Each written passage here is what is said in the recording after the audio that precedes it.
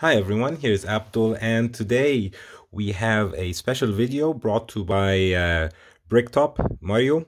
Thank you very much. Uh, he sent me two watches to um, review and to, to regulate.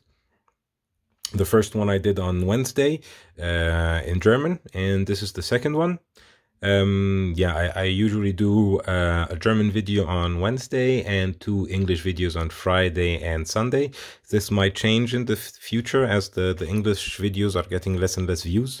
Um, so I might be thinking about switching to one on one. So one on Saturday and one on Wednesday. Please leave in the comments if you think that's better or worse. Which uh, which day do you prefer the, the uploads? I'm still uh, trying with the, with the algorithm, let's say, to see which day and which thumbnail and all this stuff.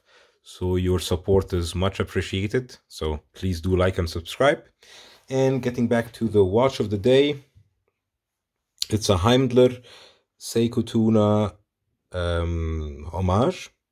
As you can see, it's a well-built watch, I have to say. I didn't expect it to be to be that well built, must say.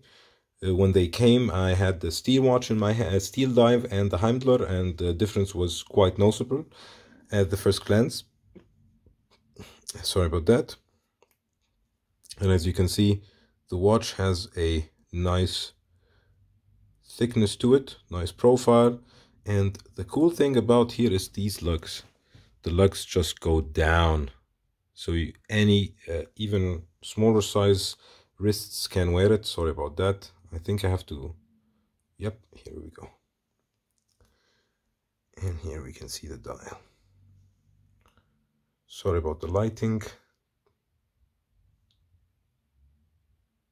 So as you can see, we can check the dimensions of the watch. Try not to scratch anything on the watch, it's not mine. 45.5 and let's see lug to lug. Lug to lug distance is same. Okay thickness is 14 millimeters and I think lug width is 22 yeah. So I have by the way I'm wearing the Tudor. I thought it's a good watch to to have it as a diver comparison. And I'm I'm at the moment I think 17 inch uh, 17 inch uh, 17 centimeter uh, wrist circumference. And as you can see on my wrist it does actually could look quite good. The strap is very supple very soft. I really like it. The only problem is on wrists like mine it will just go out the other way. I'll show you what I mean in a second. Yeah, and as you can see, the lume is quite nice as well. It has a full dial lume, but the bezel is not lumed like the steel dial. The steel dive, sorry, had like a lumed bezel. It's a ceramic bezel, sapphire glass. I think it has an NH35, but we will open the movement and see. I thought the other one had an STP, but I was totally wrong. It had an NH35. And uh, yeah, that's the time now. I'll just take the crown out because I'll show you what I noticed when I took the crown out. Oh, now it's it's quite well. Okay. Yeah, it was moving a little bit weird, uh, I have to say. Uh, quite quick but now it's moving quite good as well. Uh, yeah that's what I wanted to show you. The um, the screw down crown is a bit hard and you only know when when it's fully when it doesn't go anymore. As you can see from the other side you see that there's no gap anymore. The crown uh, sorry the, the the bezel. So the bezel action is really nice and I, I thought actually that this would be hindering moving the bezel, these, these uh, bezel protectors. Uh, but actually they do help because I know where I move it and I can just fix it exactly where I want. And there is no backplay at all. Like the steel dive was moving all all the way around and there was, was a lot of backplay, but this one doesn't have any backplay at all. I'm very happy. I'm very uh, surprised to be honest with the quality. Uh, the finished quality, of course, as you can see, there are brushed areas, there are polished areas, but I wasn't expecting, to be honest, that uh, high of a quality. Yeah, what I wanted to show you is, is when you put on the watch, and due to the fact that I have only a 17 centimeter, which is 6 point, 6.3, 6.5, I think 6.5 inch wrist, you can see the, the, the strap flapping out. I asked Mario to, to uh, borrow it for a day, just to wear it to see how it is, but I think I'll change the strap to, to put it on some kind of NATO or so because this strap I, I cannot walk with a strap that's flapping around. You have to have a much bigger wrist to wear this watch with the supplied rubber strap which is quite nice rubber strap I have to say. You have, have here Heimdallr and uh, you have really thick really thick rubber like 3.5 almost inches thick of rubber.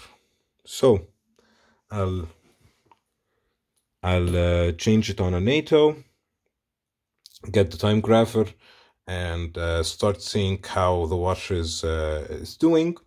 And if it needs regulating, I'll regulate it. Hopefully, I won't do catastrophically like the steel dive, which I went to, uh, to, to, to the other side of regulating, and then I brought it back to to COSC um, COSC specs, let's say. Uh, but yeah, it took me a, a while, so this time I will be much, much more careful with regulating the, the NH35 because it was my first time to regulate it. So we'll be right back. As we can see, the watch is running actually in, in, in COSC uh, area. Um, I don't know what I can do. I can, um, maybe I'll ask Mario um, if you'd like to, to have it in the plus instead of having it in the minus. Um, which would be a little bit more helpful. But other than that i don't think there is anything else to do to be done in, on on uh, on such a good uh, working movement. So i'm back. I asked mario what he wants and he was saying he would prefer that to have it in plus than in minus. So i will uh, uh regulate it accordingly because it was around like minus two minus three. So i'll try to push it up to plus 2 maybe or even 0 would be the, the perfect. Um, I'm trying with the ball. To open it. Ah, I think we have to then do it the other way around which is with this small device you put it in two of these holes and you push in one direction to open the case and that's how you do it. I'll just pause it now because i don't want to scratch the wall so i'll i'll, I'll um, put some tape on it put some tape here wear my gloves and be back. So i tried a lot of times with the ball. Uh, it didn't come out so i brought this one as well to try it out what I'm trying to do is to avoid any scratches is to either put some tape here but the problem with the tape it will leave marks. So what I wanted to do is get this plastic and put it here and try it out to put this in this. And let's see if it will open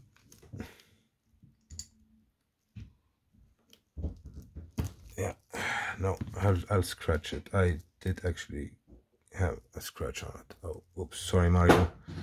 I tried my best but I'll uh, it's also a chance to show you guys another one another product that I use also which is this Cape Cod. So Cape Cod I will buff out the scratch with it. Oops. Yeah. Like I said, here's the scratch. I'm really sorry, Mario, about the scratch. Tried my best to not to scratch it, but it happened. Yeah, so I'll stop right here. Don't want to go any further and scratch the watch. It's not mine. So, um, yeah, I'll try to, to open it again with the ball. If not, I'll, uh, I, I will add the rest of the video to this one as well. Um, so if you find after the 10th minute couple of minutes extra that means that there's the regulation and uh, the opening of the case of this watch. If not thank you so much for watching and just want to get back to the 12 for everyone who has a bit of OCD like me. Yeah. So thank you so much for watching. If you like this kind of content please leave a like and also subscribe and I will get to back to any of the comments that you leave down in the comment section. So, thank you so much. Have a great one. Bye.